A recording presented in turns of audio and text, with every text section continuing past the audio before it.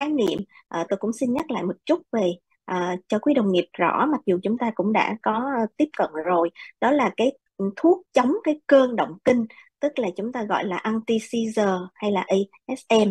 và thứ hai là cái thuốc chống động kinh anti epileptic drugs. Thì hồi trước giờ chúng ta vẫn à, sử dụng hai cái này nó song song. Tuy nhiên là trong cái quá trình phát triển và à, nghiên cứu những cái thuốc thì người ta thấy là à, trước giờ là những cái thuốc chống cái cơn động kinh thì nó chỉ phòng ngừa và giảm cái cắt cơn thôi. Còn những cái thuốc mà gọi là can thiệp trực tiếp vào cái quá trình sinh động kinh thì vẫn chưa có. Do đó là bây giờ chúng ta sẽ sử dụng hai cái khái niệm này à, hầu như là nó sẽ riêng rẽ. Và hiện tại thì những cái thuốc chống động kinh à, tôi đề cập trong cái bài này thì đa phần là những cái thuốc ASM gọi là chống cái cơn động kinh và để nhắc lại một chút về cái quá trình sinh động kinh thì cái à, một cái tế bào thần kinh nó sẽ chịu cái sự kích thích và cái sự ức chế từ hai cái hệ thống kích thích và ức chế của não bộ. Và bình thường hai cái hệ thống này nó cân bằng nhau. Và khi mà à, có cái sự bất cân bằng tức là giảm cái sự chế hoặc là tăng cái tính kích thích của cái tế bào thần kinh, thì đó, thì lúc đó nó sẽ gây ra những cái phóng điện xung lực bất thường. Và khi mà những cái phóng điện này nó đủ lớn thì nó sẽ tạo ra những cái phóng điện hàng loạt và gây ra những cái cơn động kinh. Thì cái đó là cái cơ chế của cái à, cơn động kinh cũng như là cái bệnh động kinh. Và mục tiêu của những cái thuốc chống động kinh hiện tại thì chúng ta chủ yếu là đánh giá vào cái sự mất cân bằng này. Do đó là có thể chúng ta sẽ uh, tăng cường cái sự ức chế cái hệ thống ức chế trong đó là cái uh, chất dẫn truyền là GABA là chủ yếu. Và thứ hai là chúng ta có thể là uh, giảm bớt cái sự kích thích tức là giảm bớt cái uh, hệ thống kích thích trong đó glutamate là cái chất dẫn truyền chủ yếu. Thì cái hình này cũng rất là quen thuộc với quý đồng nghiệp. Đây là một cái hình cũng đã hình dung được hầu hết những cái cơ chế của các thuốc chống động kinh ở thế hệ cũ cũng như thế hệ mới. Thì ở đây có một số cái thuốc chống động kinh đã rất là quen thuộc ví dụ như carbamazepine hoặc là phenytoin hoặc là uh, levetiracetam. Một số thuốc chống động kinh chúng ta sẽ bàn luận trong cái um, bài này thì được tô vàng thì chúng ta sẽ đi À, uh, sâu vào trong cái thời gian sau. Thì khi mà lựa chọn một cái thuốc chống động kinh thì chúng ta sẽ quan tâm đến hai cái vấn đề. Thứ nhất người ta gọi là efficacy tức là cái hiệu quả dược lý của cái uh, thuốc này uh, nghiên cứu trên lâm sàng cũng như là trên những cái uh, bệnh nhân thực tế. Tuy nhiên cũng có một cái vấn đề nữa chúng ta cần quan tâm đó là cái độ dung nạp hoặc cái là uh, an toàn có tác dụng um, vụ gì hay không người ta gọi là tolerability. Thì hai cái hiệu quả và cái hiệu quả dược lý cộng với lại cái độ dung nạp thì tổng quan mới đạt được cái effectiveness. Tại vì nếu mà bệnh nhân không có dung nạp được thì bệnh nhân cũng không có đạt được cái hiệu quả dược lý chúng ta mong muốn. Vì vậy là khi mà nghiên cứu hoặc là đánh giá một cái thuốc chống động kinh mới thì chúng ta sẽ đa phần là sẽ đánh giá hai cái hiệu quả dược lý và cái độ an toàn này. Và cái hình này cũng đã uh, cho chúng ta thấy được cái quá trình phát triển cũng như là nghiên cứu những cái thuốc chống động kinh. Như quý đồng nghiệp thấy thì trong 100 năm đầu tiên từ khi cái thuốc chống động kinh đầu tiên ra đời tức là bromide thì thật ra cũng ra đời một cách tình cờ khi người ta đang nghiên cứu về một cái thuốc chống uh, uh, tim mạch loạn nhịp tim và sau đó thì hơn 100 năm thì chỉ khoảng 5 6 thuốc ra đời. Và sau đó là uh, những cái thế hệ thứ hai, những cái thuốc chống động kinh thứ hai chúng ta cũng khá quen thuộc, đó là carbamazepine hoặc là valproic acid. Và như chúng ta thấy là trong vòng 30 năm à, trở lại đây từ năm 1990 thì rất là nhiều thuốc chống động kinh hơn 20 thuốc chống động kinh à, mới được ra đời và trong cái bài khuôn khổ bài hôm nay thì à, tôi xin phép được giới thiệu sơ qua những cái thuốc chống động kinh thế hệ mới và hiện tại đã được chấp thuận ở à, hầu hết là trên thế giới cũng như là châu Âu hoặc là Hoa Kỳ. Và đối với lại một cái quá trình nghiên cứu thuốc thì sẽ có hai loại. Thứ nhất là khi mà người ta muốn nghiên cứu một cái loại thuốc mới hoàn toàn gọi là de novo thì cái quá trình rất là lâu dài phải có những cái thử nghiệm ở trong uh, phòng thí nghiệm in vitro rồi in vivo và sau đó là thử nghiệm lâm sàng và kéo dài cũng khoảng hơn là 10 năm. Và có một cái cách thứ hai mà người ta cũng có thể áp dụng được đó là tái cái mục đích sử dụng lại của những cái thuốc. Cái thuốc này có thể đã được nghiên cứu đã được uh, chấp thuận trong những cái bệnh lý khác tuy nhiên là người ta sẽ À, dựa vào cái cơ chế để người ta có thể nghiên cứu lại hoặc là áp dụng lại trong cái việc điều trị động kinh thì cái này thì nó sẽ rút ngắn cái thời gian nghiên cứu hơn. Người ta chỉ cần nghiên cứu ở trong cái giai đoạn lâm sàng.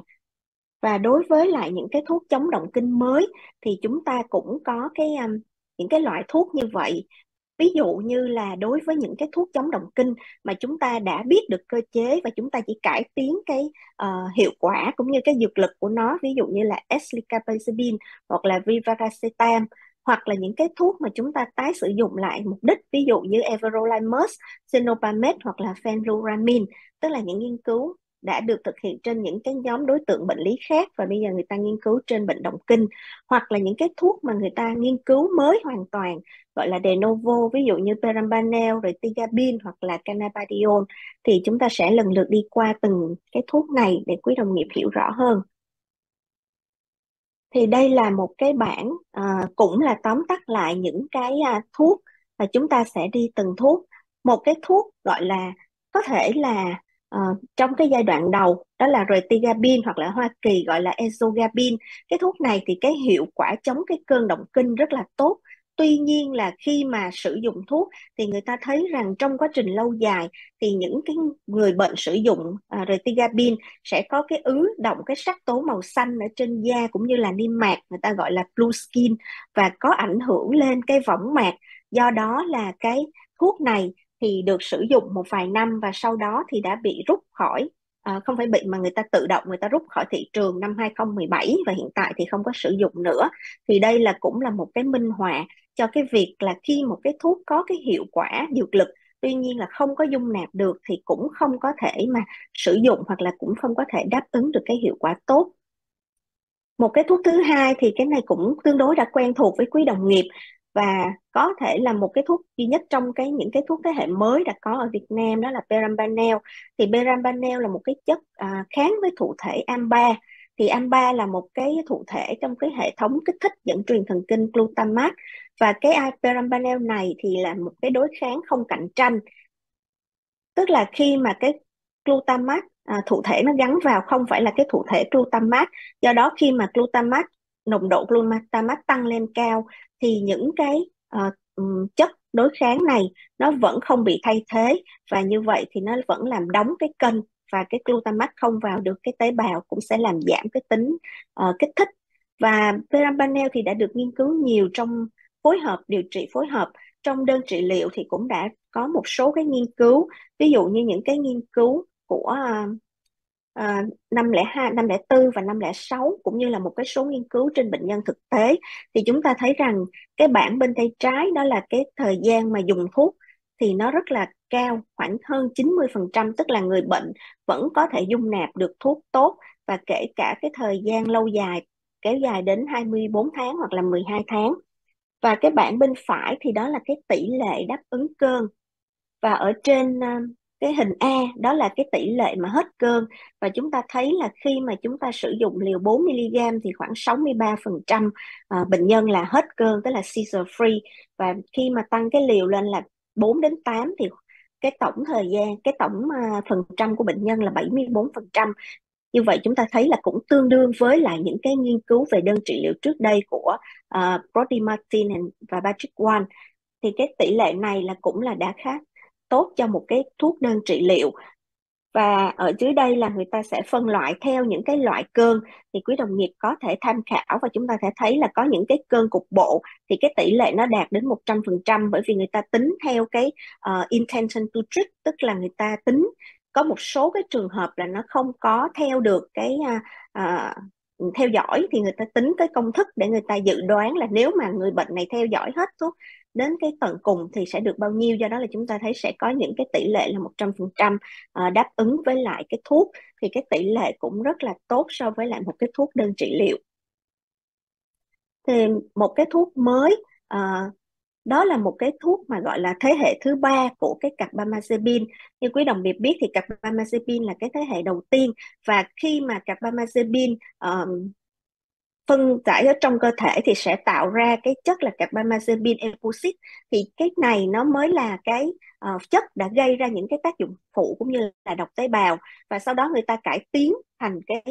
oxcarbazepine. Thì lúc này oxcarbazepine chỉ phân hủy ra thành cái eslicarbazepine là cái chất hoạt động. Và cái ờ, đồng phân R thì cái tỷ lệ rất là thấp. Nên do đó là chúng ta thấy cái uh, oxcarbazepine nó sẽ ít cái tác dụng phụ hơn. Và đến cái thế hệ thứ ba thì đây là eslicarbazepine thì đây là cái tiền chất của cái đồng phân S à, licarbazepine thì hoàn toàn là không có những cái chất hoặc là cái tỷ lệ nó rất là thấp. Do đó là chúng ta thấy hầu như là cái này giống như là một cái à, phân tử gọi là tinh khiết của cái à, uh, S-licarbazepine do đó là cái hiệu quả nó sẽ khác so với lại những cái thế hệ trước đây và như vậy thì nó sẽ có những cái ưu điểm vượt trội hơn. Thứ nhất là cái à, này nó sẽ ít tương tác thuốc, vì vậy là nó có có cái à, tương tác thuốc ít hơn do cái cảm biến men yếu và cái tác dụng phụ thì nó sẽ ít gây ra do là nó không có những cái à, hợp chất gây độc. Và cái thời gian bán hủy thì kéo dài, do đó liều dùng thì chỉ khoảng là một lần một ngày là được. Và những cái nghiên cứu về đơn trị liệu thì người ta cũng đã có những cái nghiên cứu trong lâm sàng pha ba ngẫu nhiên mù đôi và so sánh cái hiệu quả cũng như là độ an toàn với lại carbamazepine mà thống, phóng thích có kiểm soát trên bệnh nhân động kinh cục bộ. Và khi người ta nghiên cứu thì đây là một cái nghiên cứu được thiết kế là non-inferior tức là nghiên cứu không có thua kém với lại carbamazepine CR vì vậy chúng ta thấy là cái kết quả khi mà đánh giá um, theo thời gian và theo cái liều lượng thì đối với lại cái liều thấp thì đã đạt được khoảng 50% là bệnh nhân không cơn trong vòng 6 tháng. Và nếu tăng lên thì chúng ta thấy cái tỷ lệ mà không cơn là tích lũy là được khoảng 70% so với lại carbamazepine là 76% thì nó cũng không có khác biệt có ý nghĩa. Và khi mà so sánh cái độ an toàn thì chúng ta thấy nó cũng tương đối là có những cái tác dụng phụ. Tuy nhiên là không phải là tác dụng phụ nghiêm trọng và những cái tác dụng phụ thường gặp thì cũng tương tự như carbamazepine đó là uh, chóng choáng váng đau đầu buồn ngủ. Và tuy nhiên là có một cái là cái hạ natri máu thì cái nhóm mới này eslicarbazepine thì nó có vẻ là cao hơn cái à, uh, carbamazepine và một cái nữa là cái dị ứng da thì chúng ta thấy cái tỷ lệ nó rất là thấp khoảng 0,5% so với lại 1,7% của carbamazepin. Tuy nhiên là cái nhóm nghiên cứu này là dân số là ở châu Âu, chủ yếu là ở Đức. Vì vậy là chúng ta cũng chưa có đánh giá được ở cái um, dân số châu Á. Tuy nhiên là hy vọng cũng sẽ có cái tỷ lệ dị ứng da thấp giống như là oxcarbazepine. Và một cái à, thuốc tiếp theo nữa thì cũng là một cái thuốc thế hệ thứ hai, đó là Vivaracetam đó là thế hệ thứ hai của levetiracetam. Do đó là cơ chế của nó thì hoàn toàn giống với lại levetiracetam. Đó là gắn chọn lọc vào protein SV2A thì protein này nó sẽ làm ức chế cái sự hòa màng của những cái túi glutamate điều chỉnh quá trình là phóng thích cái túi này. Và cái ái tính của vivaracetam thì nó sẽ cao hơn nhiều lần so với lại levetiracetam và trong những cái nghiên cứu thì cũng đã có những cái nghiên cứu pha ba đơn trị liệu để mình đánh giá được cái vivaracetam và cái vivaracetam này thì nó dung nạp cũng khá tốt. Chúng ta sẽ thấy những cái tỷ lệ tác dụng phụ của nó thì không có nhiều chủ yếu là đau đầu hoặc là chóng mặt ngày ngật về một cái thuốc thì cũng tương đối là mới và được uh, gọi là uh, nghiên cứu mới sau này đó là cannabidiol. Cannabidiol thì nó là một cái chiết xuất từ cây cần sa cannabis. Thì cannabis là toàn bộ những cái chất ở trong cái cây cần sa thì trong đó có hai cái hoạt chất mà chúng ta thường hay biết đó là cannabidiol hay là CBD và thứ hai là tetrahydrocannabinol THC thì cái hoạt chất mà THC này là cái hoạt chất gây ra cái hiệu ứng thần kinh hay chúng ta thấy là cái hiệu ứng mà bệnh nhân cảm giác lân lân pha Tuy nhiên là cái CBD này là một cái hợp chất không có gây hiệu ứng thần kinh. Do đó là cái thuốc CBD là những cái chiết xuất rất là tinh chất của cái uh, cây cần sa và chủ yếu là hơn một 99% đó là CBD được sử dụng để điều trị trong những cái hội chứng đặc biệt ví dụ như là Lennox-Gastaut, Grave hoặc là TSC tức là sơ cứng cũ. Về cái cơ chế thì thật ra người ta vẫn chưa có hiểu rõ được cái cơ chế chính thức của à, cannabidiol. Tuy nhiên là trên những cái nghiên cứu ở à, chuột thì người ta thấy là cái cơ chế này nó chủ yếu là nó tác động lên những cái hệ thống mà uh, thụ thể ở trên cái tiền synapse nó làm giảm cái canxi nội bào và do đó nó sẽ bằng cái cơ chế là vậy như vậy thì nó sẽ làm giảm phóng thích những cái túi thần kinh ở trên cái uh, neuron mà kích thích. Ngoài ra thì nó cũng làm giảm được những cái ức chế của cái uh, hệ thống uh, kích thích xin lỗi giảm được cái hệ thống uh, kích thích. Do đó nó là tăng cường cái hệ thống ức chế. Và cái uh, CBD này thì cũng đã có nhiều cái nghiên cứu trên bệnh nhân Lennox-Gastaut và Rave và thấy là giảm từ 40 đến 50 phần trăm cái tần suất cơn động kinh. Và khi mà cái hiệu quả này thì kết hợp với lại clobazam thì người ta thấy cái hiệu quả rất là tốt. Tuy nhiên là những cái tác dụng phụ thường gặp thì chúng ta cũng thấy là tương tự như những cái thuốc khác, buồn ngủ, tiêu chảy, chán ăn hoặc là tăng men gan. Và những cái tương tác thuốc thì chúng ta uh, như chúng ta thấy đó là CBD sẽ tương tác với lại clobazam sẽ làm tăng cái hiệu quả của cái um, thuốc clobazam do nó ức chế cái chuyển hóa cái thuốc này làm tăng cái nồng độ no clobazam và giúp kiểm soát cái cơn co giật tốt hơn. Tuy nhiên là làm cũng làm tăng cái uh, gọi là tác dụng phụ. Do đó chúng ta cần phải theo dõi và khi mà điều trị với clobazam thì điều trị cái liều thấp.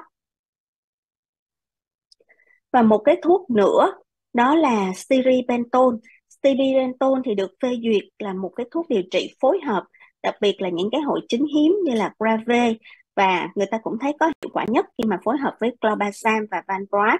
thì stiripentol sẽ à, gọi là à, tác dụng chủ yếu lên cái con đường gọi ít kích thích à, con đường ức chế là cái hệ thống GABA. Nó sẽ làm tăng cường phóng thích cái GABA ở những cái uh, neuron tiền synapse đồng thời là sẽ làm kéo dài cái thời gian mở của cái kênh ở ờ, những cái hậu synapse. Do đó là chúng ta sẽ tăng cường cái ờ, hệ thống mà ức chế lên. Và đây là những cái nghiên cứu, chủ yếu là những cái nghiên cứu ở trong hội chứng Grave và sử dụng như là một cái ờ, phối hợp với lại những cái thuốc đầu tiên là Valproate và Clobazam. Thì chúng ta thấy cái tỷ lệ um, mà đáp ứng cơn thì nó cũng dao động rất là tốt từ khoảng 50 đến 70 phần trăm. Và ở đây người ta cũng nghiên cứu thấy những cái tác dụng phụ thường gặp thì à, cũng như là những cái thuốc khác mệt mỏi buồn ngủ chán ăn. Tuy nhiên có cái tác dụng phụ về huyết học tức là giảm số lượng bạch cầu và tiểu cầu. Vì vậy người ta khuyến cáo là cần phải theo dõi à, xét nghiệm máu thường xuyên khi điều trị. Một cái thuốc mới và nó cũng tương đối là thú vị đó là everolimus everolimus thì là một cái thuốc ức chế con đường mTOR được sử dụng trong một số cái dạng ung thư trước đây. Tuy nhiên là khi mà người ta nghiên cứu trong cái điều trị sơ cứng cũ thì người ta thấy cái con đường này nó cũng có ảnh hưởng trong cái sơ cứng cũ vì vậy là đã được FDA phê duyệt trong điều trị các những cái uh, động kinh liên quan đến sơ cứng cũ như là một thuốc phối hợp. Thì chúng ta thấy là cái con đường mTOR này là một protein nó ảnh hưởng đến cái sự phân chia và phát triển tế bào. Và khi mà đối với lại những bệnh nhân sơ cứng cũ thì người ta bị đột biến cái gen TSC1 và TSC2 nó sẽ làm uh, không có bị ức chế con đường này không bị ức chế. Do đó là cái uh, phát triển và phân chia tế bào nó không có bị ức chế nó sẽ tăng sinh liên tục tạo ra là những cái khối u. Mặc dù nó có vẻ như lành tính nhưng mà nó có thể gây ra những cái hiệu ứng chèn ép ở thận ở não và gây ra những cái tính kích thích của tế bào gây ra động kinh cục bộ. Và khi mà everolimus ức chế cái con đường này thì nó sẽ làm giảm cái sự phát triển của tế bào và nó sẽ đánh vào trực tiếp cái cơ chế. Thì đây là một cái thuốc uh, được xem như nó là một cái thuốc mà chống được cái cơ chế sinh động kinh và khá hiệu quả. Và có nhiều cái nghiên cứu liên quan đến cái uh, động kinh cục bộ liên quan đến sơ cứng cũ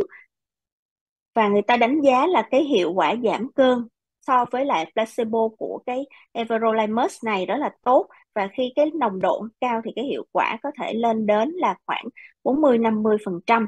và cái việc giảm cân này nó cũng tăng theo thời gian như quý đồng nghiệp thấy ở đây. Thì cái tỷ lệ có thể giảm được cái tần suất lên đến khoảng 50% so với lại à, placebo. Tuy nhiên là có nhiều cái tác dụng phụ và cũng rất là thường gặp. Ví dụ như là viêm hoặc lở miệng là rất là hầu như thường gặp trên khoảng 60% bệnh nhân. Thì cái này mình cũng sẽ theo dõi kỹ và có thể à, sẽ hướng dẫn người bệnh để theo dõi hoặc là tiêu chảy hoặc là viêm dạ dày ruột. Đó là những cái tác dụng phụ thường gặp và chúng ta sẽ theo dõi sát làm những cái uh, xét nghiệm công thức máu để đánh giá lại uh, khi mà điều trị everolimus một cái thuốc tiếp theo đó là Senopamet Senopamet thì được phê duyệt để điều trị động kinh cục bộ. Và cái thuốc này thì tác động chủ yếu là lên cái con đường GABA làm uh, ức chế cái kênh natri đồng thời là ức chế cái uh, việc là uh, gọi là đóng cái kênh cái đường đường dẫn truyền cái con đường dòng natri đóng lại cái dòng natri. Vì vậy nó cũng ảnh hưởng lên cái thụ thể GABA làm tăng cường cái um, thụ thể GABA kéo dài cái thời gian mở kênh vì vậy nó sẽ làm cho cái con đường ức chế nó được hoạt hóa nhiều lên và sẽ làm giảm tính kích thích những cái tác dụng phụ thường gặp của Senopamet đó là buồn ngủ, chóng mặt hoặc là đau đầu. Về cái việc ghi nhận hiệu quả giảm cơn thì lên đến khoảng 90% khi mà phối hợp với clobazam. Tuy nhiên là chúng ta cũng biết là khi mà Senopamet là một cái uh, chất gọi là ức chế men do đó nó cũng làm tăng giảm chuyển hóa những cái chất tiền chất của clobazam vì vậy khi mà sử dụng thì chúng ta có hiệu quả cao cũng có những cái tác dụng phụ nhiều vì vậy người ta khuyến cáo là khi phối hợp thì phối hợp với clobazam uh, liều thấp chỉ khoảng 5 đến 10%. Một cái thuốc cuối cùng là một cái thuốc cũng mà mới và cũng được à, uh, FDA chấp thuận gần đây đó là fenfluramine. Fenfluramine thì trước đây được sử dụng trong cái việc điều trị cái chứng à, thèm ăn hoặc là béo phì. Tuy nhiên sau này người ta tái sử dụng tái mục đích lại để điều trị nghiên cứu trên cái chống động kinh. Thì thuốc này được FDA phê duyệt để điều trị phối hợp với lại hội chứng Rave và hội chứng Lennox-Gastaut cái cơ chế của fenfluramine thì uh, hầu như là hoàn toàn khác biệt với lại những cái cơ chế khác khi nó hoạt động trên cái uh, uh, hệ thống serotonin. Thì chủ yếu cái cơ chế của fenfluramine nó sẽ làm tăng cường uh, ức chế lên các thụ uh, xin lỗi kích thích lên các thụ thể của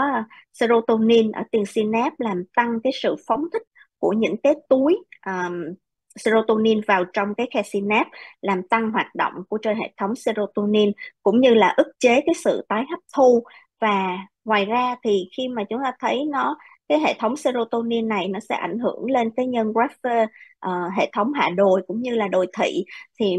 um, có những cái cơ chế gián tiếp đánh uh, trực tiếp là trên hệ serotonin và gián tiếp trên cái hệ thống đồi thị lên cái giảm cái um, chất dẫn truyền kích thích glutamate do đó là nó sẽ làm giảm cái uh, kích thích giảm cái cơn động kinh. Đó là một cái cơ chế khác so với là những cái uh, cơ chế chúng ta nói nãy giờ. Và khi mà hiệu quả lâm sàng thì người ta cũng thấy là đã giảm được khoảng 40 đến 70 uh, ờ, phần trăm cái tần suất cơn động kinh ở hội chứng Grave cũng như là hội chứng Lennox-Gastaut. Thì những cái tác dụng phụ thường gặp ngoài những cái tác dụng phụ như là chán ăn tiêu chảy mệt mỏi thì ờ, ở fenfluramine có một cái tác dụng phụ nghiêm trọng đó là gây tăng áp động mạch phổi và bệnh van tim. Do đó là người ta khuyến cáo là cần phải theo dõi kỹ bằng uh, siêu âm tim định kỳ khi mà sử dụng fenfluramine và đánh giá cái uh, chức năng tim mạch thường xuyên. Và như vậy chúng ta đã đi qua những cái thuốc ở nhằm nó trong cái nhóm thế hệ à, thứ ba và ờ, được phát triển gần đây thì cái khuyến cáo đơn trị liệu trong những cái thuốc chống động kinh thế hệ mới thì như thế nào? À, khuyến cáo thì thường chúng ta sẽ tham khảo từ nhiều nguồn ví dụ như từ những cái quốc gia như là Hoa Kỳ FDA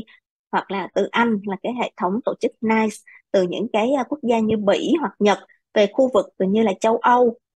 hoặc là quốc tế như là IAOE Liên đoàn chống động kinh thì như quý đồng nghiệp biết thì Liên đoàn chống động kinh cái cập nhật mới nhất của họ là năm 2013 là những cái thuốc mà hầu như chúng ta đã biết về những cái thuốc mà mới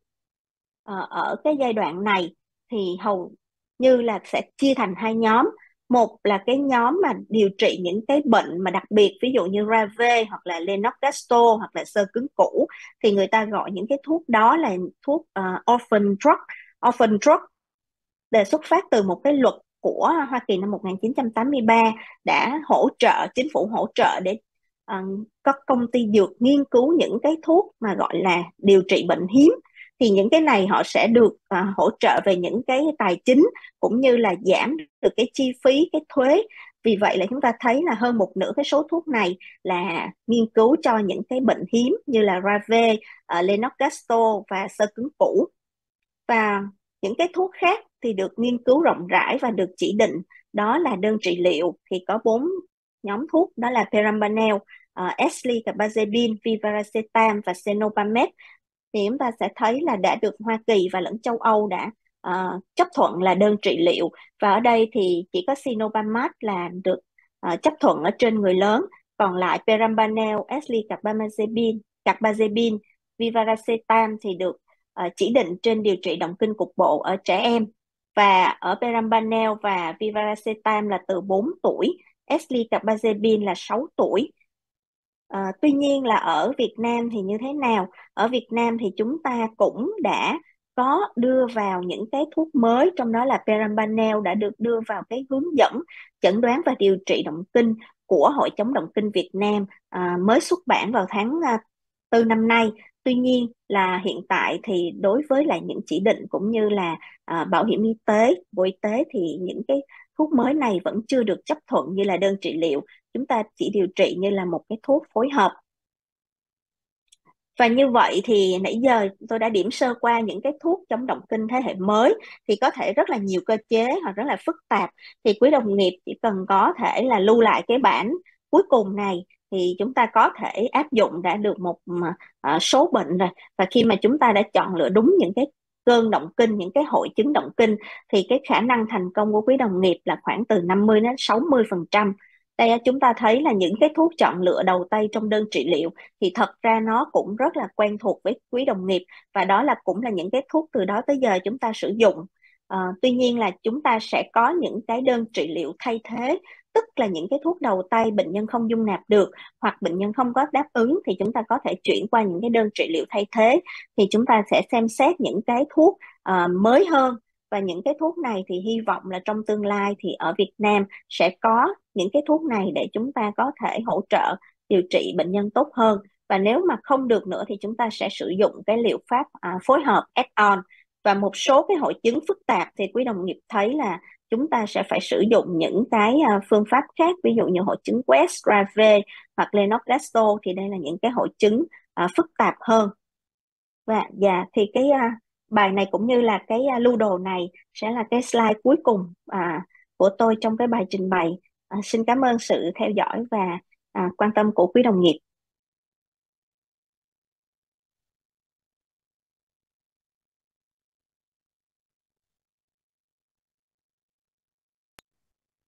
À, chắc có lẽ là chúng ta sẽ thảo luận luôn đi. Không biết ờ, các quý đồng nghiệp có đặt câu hỏi gì với ờ, bác sĩ An không à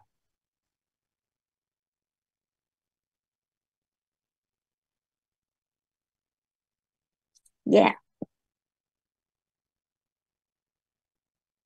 Ừ, chúng ta có cái phần mà chat cái ô chat ở dưới đó quý đồng nghiệp có thể gõ trên cái phần ô chat. Hoặc là quý đồng nghiệp có thể mở mic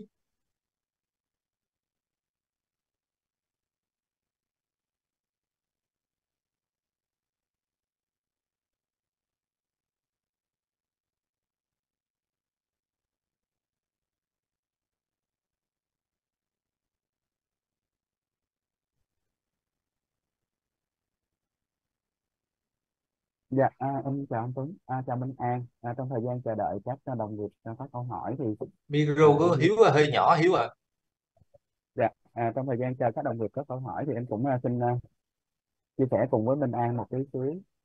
à, những cái thuốc mới à, Minh An trình bày trong buổi ngày hôm nay thì cực kỳ là hay. À, nhưng mà để đặt vấn đề là những thuốc này là thuốc đơn trị liệu á thì đúng cũng thật sự là khó do là hiện nay chúng ta đa phần là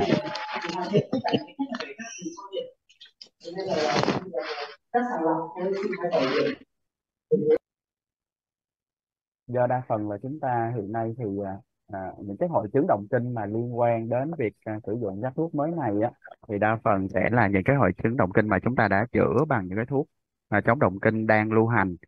và đến khi mà chúng ta có nhu cầu sử dụng những cái loại thuốc mới này á thì thực sự là nó đã đến cái giai đoạn là chúng ta cần kết hợp phối hợp điều trị hơn là so với chúng ta có thể khởi đầu ngay từ đầu. Thì à, Minh An có thể chia sẻ thêm một chút là à, trong những thuốc mới này thì thuốc nào mình có thể bắt đầu từ những cái hội chứng động kinh ngay từ đầu luôn được ừ, được luôn. Mà không phải là đến cái giai đoạn à, phối hợp thì mình mới bắt đầu nghĩ tới những thuốc mới. Dạ. Dạ, em cảm ơn câu hỏi cũng như là sự chia sẻ của à, Phó Giáo sư Hiếu.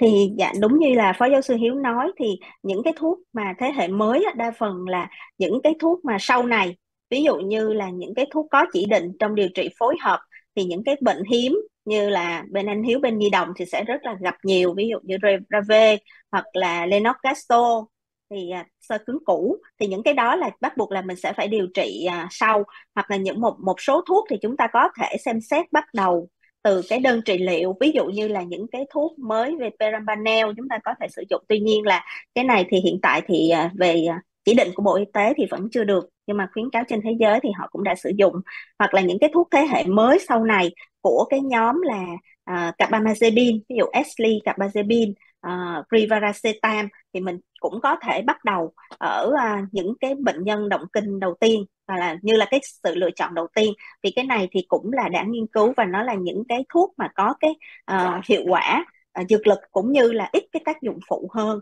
Thì uh, theo em thì em sẽ uh, hướng dẫn như vậy. Và hiện tại thì thật sự là chia sẻ kinh nghiệm cá nhân thì cũng chỉ có trên Parampanel. Và ở trên Việt Nam thì chúng ta không sử dụng ngay đầu tiên nhưng mà có một số trường hợp là chúng ta có thể à, phối hợp vào như là cái thuốc thứ hai và thứ ba sau đó bệnh nhân ổn cơn thì chúng ta sẽ rút từ từ ra. Thì cái đó là cái cách chúng ta có thể thực hành trên lâm sàng. Và hy vọng thì trong tương lai chúng ta sẽ có những cái nhóm thuốc mới như vậy. Dạ em cảm ơn. Rồi có ờ, một ờ, bác sĩ đặt câu hỏi thì ờ, An xem trả lời câu hỏi bạn đặt là cô cho em hỏi co giật triệu chứng ở bệnh nhân tai biến mạch máu não khi nào thì cần dùng thuốc chống động kinh? Dạ dạ. à,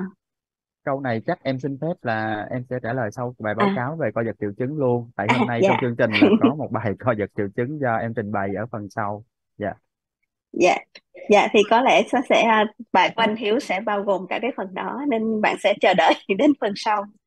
rồi bây giờ có câu hỏi trên cái phần ô chat nữa. Là kính chào thầy cô và anh chị đồng nghiệp. Em muốn hỏi kinh nghiệm của bác sĩ Minh An về điều trị everolimus. Chắc cũng không có kinh nghiệm à trên nhóm bệnh à, nhân dạ. sơ sơ hóa cũ của động kinh kháng trị. Thì An trả lời theo kinh nghiệm của mình à, đã từng dùng dạ à, bệnh nhân nào mà à, hàng chắc hàng sách tay quá chứ mình đâu có hàng chính thức quá. Dạ thật ra thì cái này cũng là uh, off label nên thật ra em cũng chỉ có một ừ, ca và hiện tại thì đang một ca đang theo dõi và điều trị. Thì những cái này thì nó hiệu quả thật sự là rất là tốt. Khi mà mình sử dụng trong vòng khoảng 2 3 tuần đầu là những cái cơn động kinh nó giảm khoảng 90% luôn. Và những cái sang thương mà sang thương trên da nó là nó cũng lặng luôn. Thì cái đó là cái hiệu quả thực sự. Tuy nhiên là mình có một cái là chúng ta sẽ không có cái uh, xét nghiệm máu để theo dõi cái nồng độ everolimus vì cái khuyến cáo ở trong cái, những cái nghiên cứu là chúng ta sẽ điều chỉnh thuốc theo cái nồng độ. Thì trước đây là bệnh viện chợ rẫy họ có thuốc thử nhưng mà sau này là họ đã hết và mình không có dùng. Thì chủ yếu là mình chỉ điều chỉnh theo cái liều của tính liều theo mét vuông da và lúc đó thì chúng ta cũng không có uh, hơi hơi hơi sẽ hơi uh, không có quá tay được. Và cái triệu chứng mà tác dụng phụ thường gặp thì cũng là lở miệng tuy nhiên là cũng chăm sóc tốt thì chúng ta cũng có thể à, giảm được cái triệu chứng. Chỉ có cái là thứ nhất là thuốc này là không phải là chính hãng và hàng sách tay và cái giá tiền của nó cũng khá là đắt. Khi mà một viên là khoảng à, 60.000 mà em bé đó là sử dụng là một ngày là 5 viên. Và phải sử dụng trong thời gian lâu dài thì à, em có hỏi kinh nghiệm của các thầy ở Úc ở Thái Lan thì họ sử dụng liên tục luôn thì cái cái điều kiện kinh tế là đôi khi là người bệnh nhân cũng không có bảo đảm được. Tại một ngày là cũng phải ba bốn trăm nghìn. Dạ. Rồi có một câu hỏi à, cho Minh An á là bây giờ mình có rất là nhiều cái loại thuốc mới. Tuy nhiên thì ở Việt Nam mình chỉ nhập vào được một số thôi. Vậy thì mình có à, mình có ưu tư gì nếu như mình không có những cái thuốc mới đó hay không? Dạ thì thật ra những cái thuốc mới này thì giống như lúc nãy à, Phó Giáo sư Hiếu có chia sẻ là những cái mà hội chứng động kinh khó thì nó sẽ có những cái hiệu quả tương đối là vượt trội. Tuy nhiên là nếu mà mình không thuốc có thuốc mới mà là mình là tiếp cận những cái bệnh nhân mà động kinh mới chẩn đoán á, thì theo em thấy là những cái nhóm thuốc của mình thì cũng đã tương đối phần nào là có có thể là sử dụng trong những bệnh nhân mới chẩn đoán thì ví dụ những cái nhóm cũ như là uh, carbamazepine, oxcarbazepine hoặc valproate hoặc levetiracetam hoặc là cái thuốc nhóm mới nhất thì là perambanel thì những cái đó thì phần nào chúng ta cũng đã có thể sử dụng ở trên ờ, bệnh nhân của mình tùy vào cái um, cái cái bệnh viện hoặc là cái um, mức độ chi phí của người bệnh thì em nghĩ cũng có thể hợp lý. Tuy nhiên nếu mà có những cái thuốc mới thì sẽ có nhiều lựa chọn cho bác sĩ cũng như là cho bệnh nhân hơn dạ. Yeah.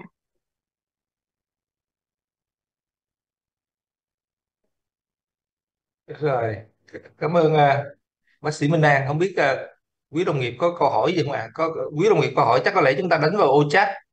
Tại vì khi mở micro có nhiều quý đồng nghiệp không để ý cho nên tiếng nó hơi bị ồn. Hoặc là thôi thì